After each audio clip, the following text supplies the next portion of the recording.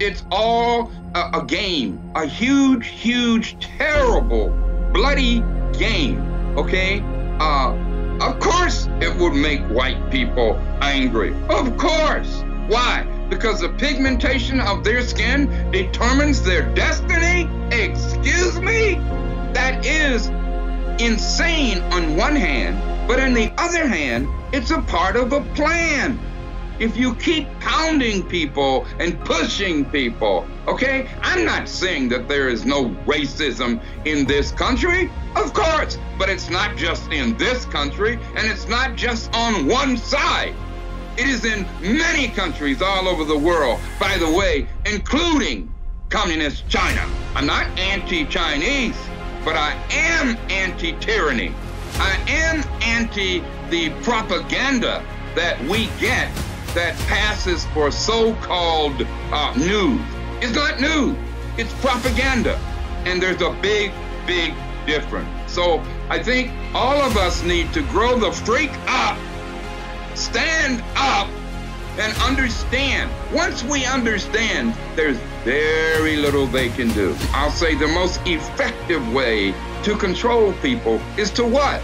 Control their minds, control how they think. Make sure that they really don't critically think. Make sure that they're robots to be robotic.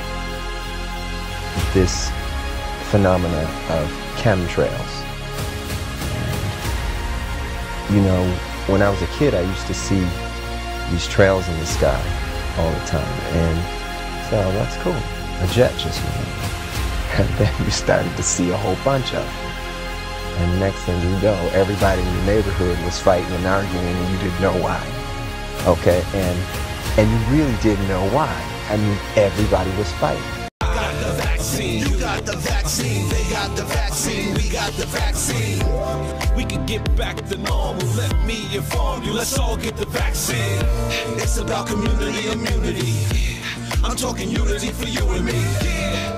If Doc says it's good, trust me, it's good. Now let's all get the vaccine. Alright, there is none higher. DMC, I will inspire. Time for us to trust and not debate. The vaccine, believe it's safe to take. Nine out of ten people won't get sick. That's 90% effective and legit. This COVID thing is real and it will find you. It's killing our people. Let me remind you. Back in the days, back in the days, there was polio, smallpox. Back in the days, measles and mumps, man. Back in the days, but because of the vaccines, none of those stayed. Vaccines they work to trigger immunity. Two shots, we got antibody security. We gotta act now. No need to wait. Get your vaccine before it's too late. That's why in 2015, I was a founder of Black Lives Matter in St. Paul. I believe the organization stood for exactly what the name implies. Black lives do matter. However, after a year on the inside, I learned they had little concern for rebuilding black families, and they cared even less about improving the quality of education for students in Minneapolis. That was made clear when they publicly denounced charter schools alongside the teachers union. I was an insider in Black Lives Matter, and I learned the ugly truth. The moratorium on charter schools does not support rebuilding the black family, but it does create barriers to a better education for black children. I resigned from Black Lives Matter after a year and a half. You see, this victim mentality is nothing more than a uh, deliberate slave mentality. Oh, I'm a slave. I can't do nothing. I'm a slave. I gotta depend on Big Brother. That's insane. And it's unacceptable. You're not a slave. And as we used to say back in the day, in the original Black Panther Party, not this so-called new Black Panther nonsense, but in the original party formed in Oakland, California in 1966, we said all power to the people. Black, white, brown, red, yellow. Okay? Our people. I hear these fools on TV talking about defund the police and things like that. We need police reform and prison reform and things like that. Because you know who ain't gonna defund the cops? White neighborhoods and rich neighborhoods. So that notion they keep saying that, I'm like, wait a minute, we just gonna leave, who, who are black people supposed to call? Ghostbusters? When we have crime in our neighborhoods, we need police reform. Like I say, white people, especially rich white people, they're always to have cops. So we need to stop that defund or abolish the cops crap. Uh, this country, in particular, uh, African Americans and the allies of African Americans. What do you want? What What do you really want? Because you got uh, because when Jay Z went over there to talk to the NFL people, you didn't like that. Now you got now you got Ice Cube who's going over talking to both parties, trying to get some shit, and you don't like that. You say you want black men to step up. They're trying to step up, but every time they step up, you tell them they're stepping wrong. Okay? Then then you got you have Puffy. Remember, Puffy had said a while ago that our vote is is not for free. That our vote is for sale. Black folk votes is for sale. But now all of a sudden he talks about we, we got to vote Trump out. We got to take we got we, we can't take four more years. Uh, this is my question. You can't take four more years, but you took 47 of the other niggas? What, what's going on here? You can't do basic math? You can't take four more years of someone who has actually helped do the research. The employment rate for black people was at its highest within these last three years. The HBCUs have gotten their money and he signed a document that said they can get them. It, the list goes on and on and on. I'm not going to sit up here and play these games with you people.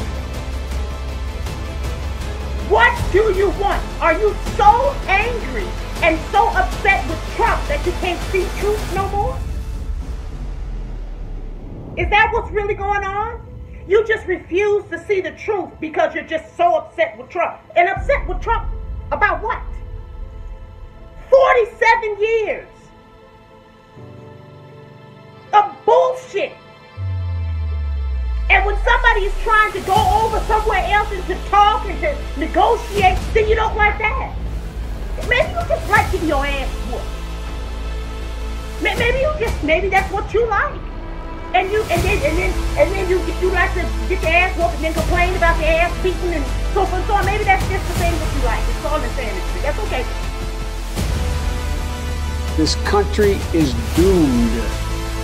It is doomed not just because of African Americans, but because by 2040, this country is going to be minority white European. Hear me? Minority white European. And you guys are going to have to start working more with Hispanics, who make up a larger portion of the population y'all do. And by the way, you know, I sit on the stand and it get hot. I got a lot of, I got hairy legs that turn, that that that that that that turn uh, uh, um, blonde in the sun. And the kids used to come up and reach in the pool and rub my leg down so it was straight, and then watch the hair come back up again. They'd look at it. So I learned about roaches. I learned about kids jumping on my lap. And I've loved kids jumping on my lap. We need to call them out for what they are. Just like I called Joe Biden out with his racist nonsense about you ain't black if you don't vote for me. That's racist. Listen, you got to come see us when you come to New York, VP Biden. I a, will. It's a long way until November. We got more questions. You got more questions, but I tell you, if you have a problem figuring out whether you're for me or Trump, then you ain't black. I'm supposed to be, and you too, we're supposed to be his slave his slave. Exactly. Don't, I'm, and I'm not exaggerating, because a slave continues to be a slave if his or her mind is controlled. Oh my God, so sickening to see this man. Obviously, the globalists, the elitists, the real, genuine racists, okay, the real fascists are pushing their program because, look, brother, they not only hate us, and by us I mean humanity, they fear us. And once we understand that, we realize that we are the ones who have the power. We, the people. I'm not no Black Lives Matter supporter. You're not? No, absolutely. Why not? Because it's not our movement. This is a movement that was given to us by, you know, George Soros and his fucking boys um, because they saw how things were going and they didn't want it to go back to the 60s. to where we start having our own organic movements. That was a big fucking problem for them. So let's give the people a movement that we can control. We'll provide them the leaders and all of this type of shit. And um, yeah, that's what Black Lives Matter is. We're the leaders of Black Lives Matter. Are there leaders? Oh, Black yeah, Lives Matter? yeah. Who? These lesbian women who are trying to incorporate, you know, LG, whatever the fuck the letters are, incorporate those, their concerns into black people's concerns. Go to the website, look it up. Google George Soros and Black Lives Matter. See what comes up. Okay. Um, and not, and you know, y'all out there, George Soros is a fucking multi-billionaire down with, you know, some of the 12 He richest people in the fucking He raised world. 100 million. dollars Yep. For Black Lives Matter Coalition funding come addition comes in addition to more than 33 million in grants from top Democratic Party donor George Soros. Okay, here we go. Okay, so the, yeah, so he he get- What he- billionaire would have done that for the Black Panther 30, Party? 33 million. Well, well, hold on. Huh? Hold on. In high school, I read some books about the Black Panther movement. Mm-hmm. Charlton Heston, maybe people like that. The Black Panther movement would have. uh, There was a there was a famous book called um, "Radical Chic and Mao Mau and the Flak Catchers," and it basically put you in these scenes where you had these, you know, the Huey P. Newtons and the the Bobby Seales would go to these rich white Mm-hmm. families' houses and have these intellectual debates. I with know about that. You know what I'm saying? With these million, these white millionaires. Did anybody give them 30 million? Well, that at time? the end, white, rich white people have historically financed some of the stuff. Some of it, not all of it. Which is why I said you know what I mean? Yeah, I and didn't that say all was, of it. And that was more guilt money rather than Fair enough. control money. So this started at the impetus of the whole shit. This is control money. This is not, oh, I feel bad for what we've done as white people. You came to my house and shamed me, and now I'm going to cut you a check. You know what I mean? That's not what that is. That's about. Let us give you a movement that we can control. Use certain symbolism from the original civil rights movement, like the black, you know, red, black, and green, all these different symbols. We're going to incorporate that, but only it's going to be a movement that we control. We decide what the messages are. We decide what the slogans are. You know, what happened to no justice, no peace, and, you know, no peace, no justice. Now it's uh, hands up, don't shoot, fucking I can't breathe, and all these negative affirmations that you know, who made that shit up? You know what I mean? Wasn't me. You know, and, and, and like, we're living in a, in a time of great social engineering. okay? Now, if y'all don't know what social engineering is, go look it up. Like, peep, there's people out there that know how to scientifically make society do what they want it to do, how they want it to be done.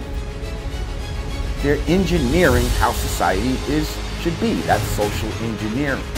So when we sit here and talk about, you know, things like false evolution, you know, we say, oh, hip hop's just going that way. No, it's not. It was socially engineered to go in the way that it's going right now. You see, this Black Lives Matter is a social engineering of how a civil rights movement should move. You see what I'm saying? And this is what we have to look at. Not everything is organic. Well, you also don't see any clear leaders in Black Lives Matter. You had uh, DeRay. He's been kind of the face of Black Lives Matter for a while. Why when he's not the leader? You see what I'm saying? There's no real Why is he? There is leaders. This is what I'm telling you. They're lesbians. They're black lesbians. These people are Shaun King.